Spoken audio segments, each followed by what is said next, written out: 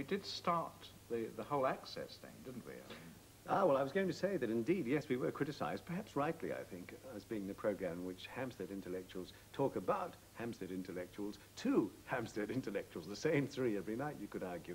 And then I think uh, the, the Wat Tyler, as we used to call him, our working class hero, Mike Fentiman, actually said it's time that the workers spoke for themselves. Uh, in fact, I think it was you who pioneered what has now become, I think, the whole programme unit by going into a Guinness factory. I didn't pioneer it. I was, I was the person asked to do it. Hmm. But I mean, I, I- I mean, Mike Fentiman pioneered it. I mean, that's, that's the truth of it.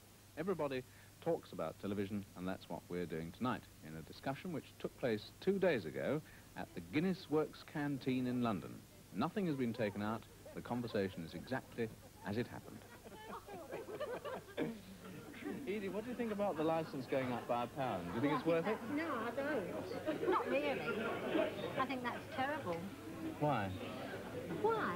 Well, because I think we pay enough, because we don't get enough um, decent programmes, do we, really? What does anybody else think about the license going I think we get far too many repeats and far too many old films and uh, too much sex. She doesn't put I don't think there's enough Too many people jumping in and out of bed. Oh, I love that.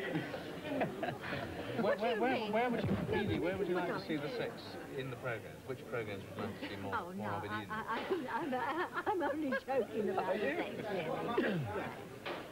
Well, I, I Oh, think that's I think myself that uh, the BBC, what, what it is now, and the uh, the picture that was always in one's mind prior to the last couple of years, the BBC has no longer got uh, the standard of entertainment that people, you know, got used to. You take your plays now, at one time you could sit down, hour, hour and a half, really enjoy it. You could make a family thing about it.